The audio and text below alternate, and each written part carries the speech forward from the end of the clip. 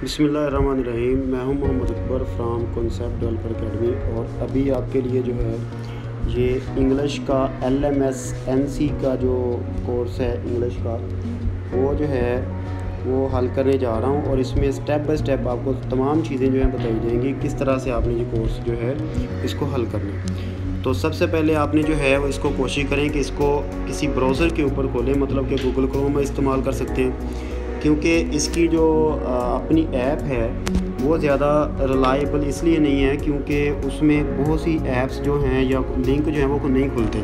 तो लिहाजा आप जो है वो गूगल क्रोम का इस्तेमाल करें तो बेटर है। तो मैंने गूगल क्रोम को चूज़ किया है और यहाँ पे ऊपर मैंने यूज़र नेम और नीचे उसका पासवर्ड लगाना है। तो ये मैंने लगा दिया, मेरे पास पहले सेव है तो ये जी हमारा हो गया एक्टिव अब हम वेट करेंगे इसके लोडिंग होने का।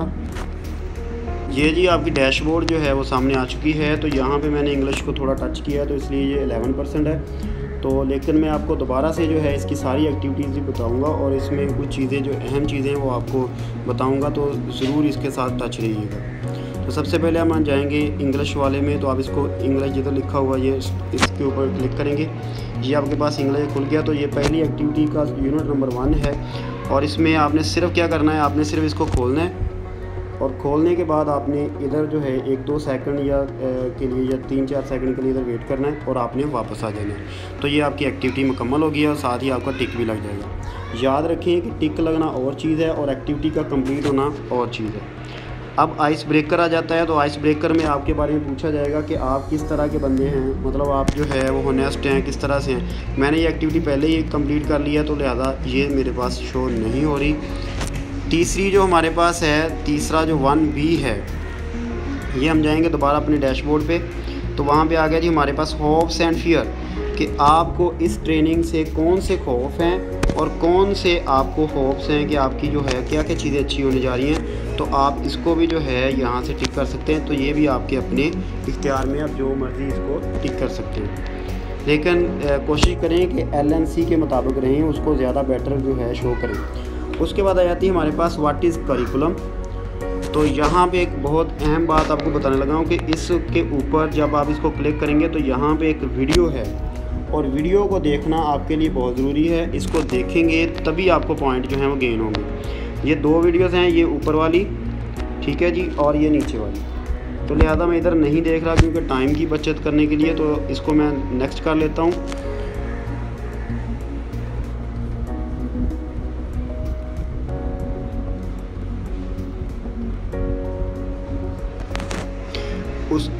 ये नेक्स्ट आ गया जी हमारे पास। इसमें जी वो पूछ रहा है कि रिफ्लेक्शन ऑफ़ टर्म जो है करिकुलम क्या होता है?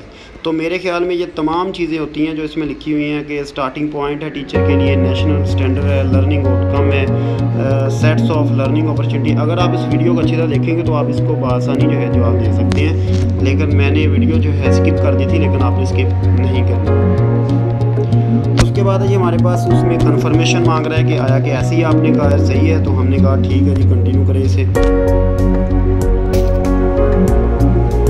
यहाँ पे नेक्स्ट अगेन एक वीडियो है तो मैं इसको वॉच करूँगा। ये जितनी वीडियो होगी, एक मिनट की, दो मिनट की कई जो वीडियो बहुत लंबी हैं तो हम जो वॉच करेंगे, लेकिन मैं इसको जो है स्किप कर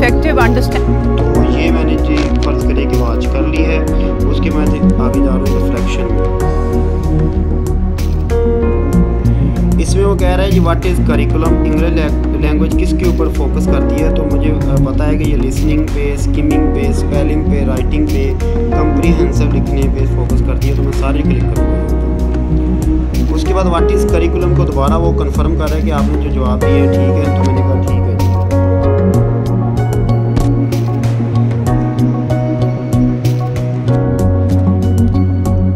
नेक्स्ट है। जी हमारे पास व्हाट इज़ करिकुलम करिकुलम क्या है जी? एस एन सी जो है language focus on the formal and तो ये लेक्सिकल हमारे पास है, इसको हम जो है ये बेस्ट ऑप्शन है तो इसको क्लिक करेंगे तो ये वाली एक्टिविटी आपकी कंप्लीट हो जाएगी। ये देखिए नीचे साथ में पॉइंट भी चल रही है कि eight eight point eighty three percent जो है आपकी लेसन जो है कंप्लीट हो चुका है। मतलब ये एक्टिविटी जो है, आप टू नंबर थी वो कर रहे थे तो ये कंप्लीट हो रही है एटी थ्री परसेंट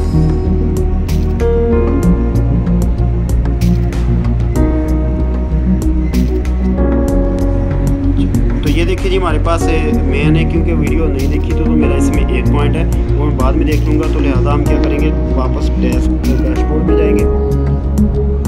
डैशबोर्ड में जाने के बाद इसमें भी अक्सर जो है एक मामला होता है कि जब आप डैशबोर्ड पे जाते हैं तो आपके इधर ना आपके कोर्सेज शो नहीं हो रहे होते जैसे कि ये इधर हो रहे हैं। तो देखिए, मेरे पास आ गए हैं, लेकिन अगर नहीं होते तो आप यहाँ से क्लिक करें साइट होम पे। वहाँ पे तमाम कोर्सेज जो हैं वो एस एन सी करवा रही है। वहाँ से आप इंग्लिश का कोर्स जो है चूज़ कर सकते हैं। लेकिन मेरे पास यही है तो मैं यहीं से उठा लेता हूँ।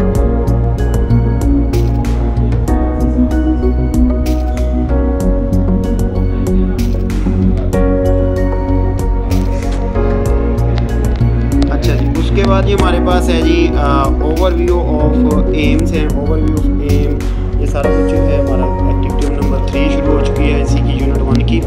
तो इसमें वो पहला कहता है जी, आपने जो है एम देखने हैं सारे तो आप क्लिक फॉर टास्क वन तो आपने सिर्फ़ क्या करना है? क्लिक वन पे करना है तो आपकी थर्टी थ्री परसेंट जो है लेसन आपका कंप्लीट हो जाएगा इसके बाद जी, आगे सवाल आ गया choose the appropriate option that best describe the E L N E L S N C कि कौन सा जो है वो बेस्ट आपका अप्रोप्रिएट है जो है तो उसको जो है वो मैं देखता हूँ यहाँ पे जी solution to changing demand of both global है, ठीक ग्लोबल एंड जो रिक्वायरमेंट है इंग्लिश ठीक है ये भी हो सकता है। फ्लुएंट इंग्लिश लैंग्वेज हो सकता है आपकी, ठीक है। अफेक्टिव इंग्लिश लैंग्वेज लर्निंग हो सकता है। अच्छा है मीटिंग इंटरनेशनल स्टैंडिंग जो है, ये भी हम इससे हासिल कर रहे हैं। Focus on speaking skill only ये हम नहीं करेंगे, इसमें सिर्फ़ हम ये नहीं कह सकते कि हम सिर्फ़ स्पीकिंग की बात करें हम तमाम चीज़ों का जो है अहाता करेंगे। लिहाजा जो है, ये आपने ऑप्शन छोड़ देना है। ये दोबारा आपको एक्टिविटी दिखा रहा हूँ तो ये हमारे पास टास्क नंबर एक्टिविटी थ्री है।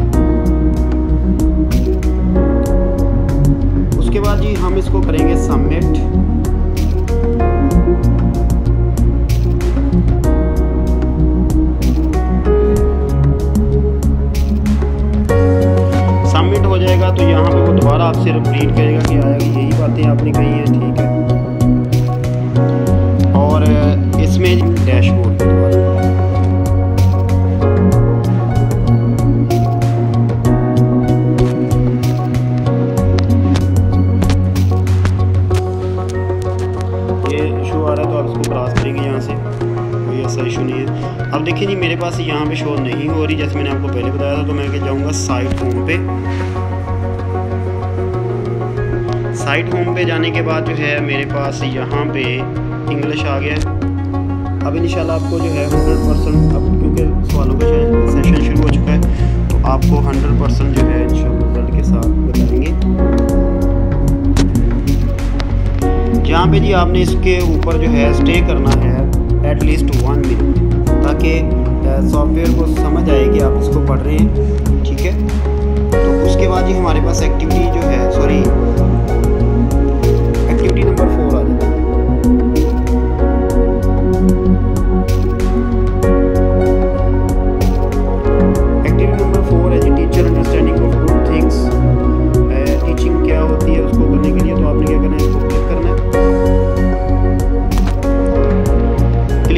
बाद जी। उसने कहा जी, ये आपने वीडियो देखनी है तो आप इसको वीडियो को देख लेंगे तो मैं इसको वापस जा रहा हूँ। मेरे पास अभी नहीं है तो इसको आप पॉप अप करेंगे।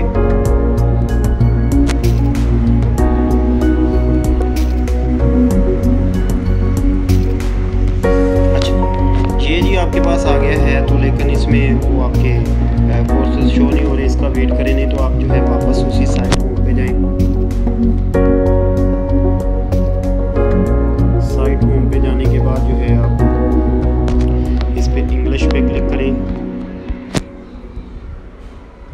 इंग्लिश के बाद आपने जहाँ पे एक्टिविटी को छोड़ा था, वहीं से आप स्टार्ट करें। और ये हमारे पास टास्क वन था तो हमने सेवेंटी सिक्सटी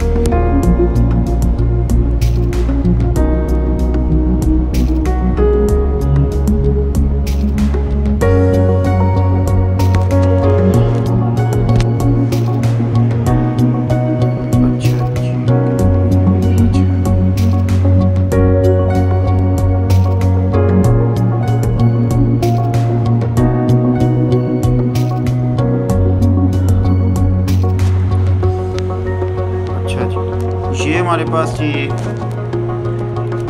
हाँ जी, ये जी एक्टिविटी एक्टिविटी नंबर फोर भी हमने जो है वो कंप्लीट कर ली है। तो अब जो है हम जाएँगे एक्टिविटी नंबर फाइव पे।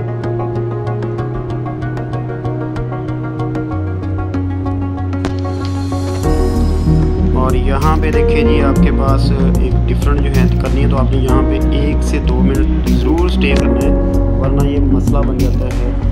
वो सॉफ्टवेयर को पता चल जाता है इसलिए आपको नंबर अच्छे नहीं देता, चाहे आपके नंबर जो है सही भी हो। ठीक है? तो यहाँ पे आप करने के बाद जो है, अब देखिए चूज़ करें, जो कहता है कि इसमें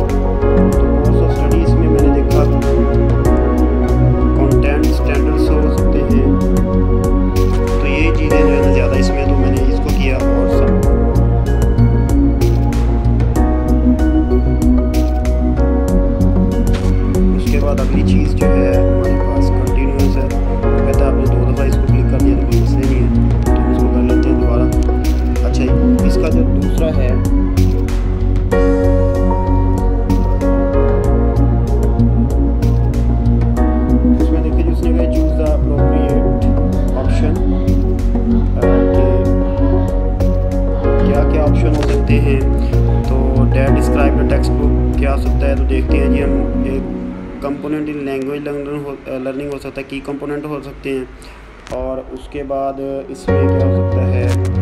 इसमें बेसिक ऑफ़ कंटेंट्स हो सकता है रिसोर्स मटेरियल भी हो सकता है, ठीक है? एडिशनल रीडिंग मटेरियल भी होता है, वाकई आपको पता है उसमें जो है, लगे होते हैं। और फार्म ऑफ़ टीचर ट्रेनिंग नहीं होता मेरा ख्याल है, इसमें नहीं होता। और यहाँ पे दोबारा मैं एक दफ़ा इसको रिपीट कर लेता हूँ।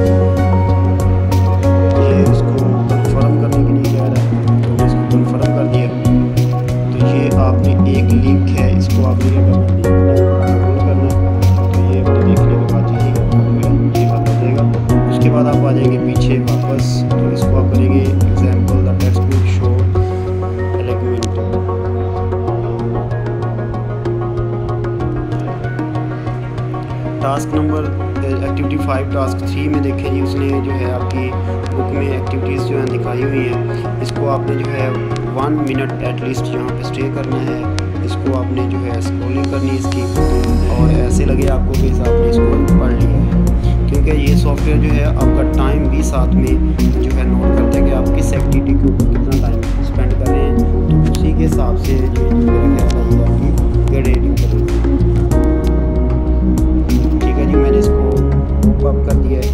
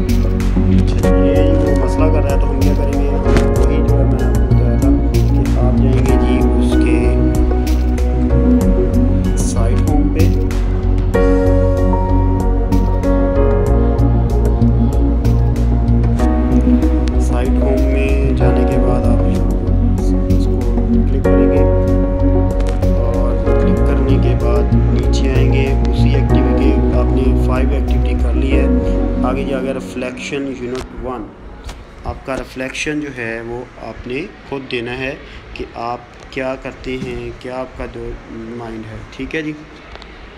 तो फ्लैक्शन में देखें जी आपने क्या करना है जी? सॉरी मैं ये आ, इसको मैंने ऑब्ज़र्व नहीं किया क्योंकि ये तीन तीन चीज़ें नहीं हैं तो यहाँ पे हम करेंगे at the end of unit one क्योंकि अभी हमने यूनिट वन किया है लिहाजा आपने गलती नहीं करनी आपने यूनिट वन पे ही करना है। क्योंकि अभी मैंने देखा था कि ये डिफरेंट आ रहे थे तो सेम आ रहे थे, लेकिन यूनिट वन हमने पढ़ा है तो हम उसी के हिसाब से इसकी अप्लाई करेंगे।